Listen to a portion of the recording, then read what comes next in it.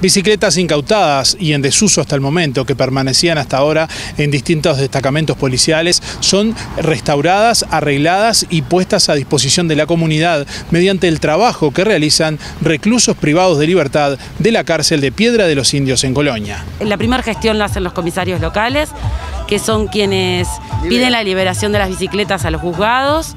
Generalmente van hacia los municipios, los municipios las llevan a, Piedra de los Indios, que en este caso es la cárcel departamental.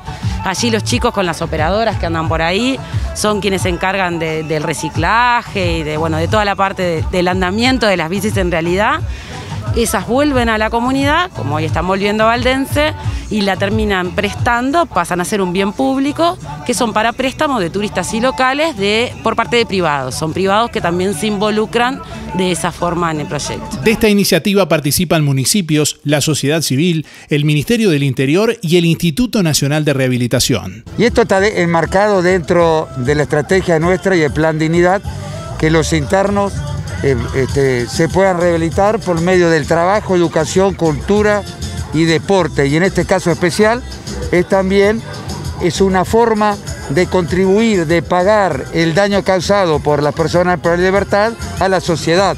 Hay que tener en cuenta que la, una forma simbólica que la bicicleta tiene el nombre del interno que lo reparó. Esto significa que esta persona eh, un granito de arena en algo le está devolviendo a la sociedad. Desde el primero de marzo de 2020 hay aproximadamente 1.900 personas más privadas de libertad.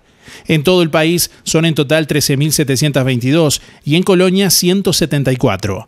Hasta el momento solo tres internos participan de esta iniciativa que comenzó en Colonia en el municipio de Nueva Albesia, ahora en el de Valdense y próximamente en Rosario. Asimismo se pretende extenderlo a todo el país. Como yo dije anteriormente, están generando plazas laborales, ¿no? el, proyecto que no contábamos con eso. Eh, se pueden generar más plazas aún, ¿no? depende de la demanda de las bicicletas que tengamos. Y para ellos sí, eh, tienen el beneficio el de redención de pena y, también ¿no? para tratar de, de, aniquilar el ocio ¿no? dentro de las cárceles. Desde Colonia Valdense para BTV Noticias, Darío Izaguirre.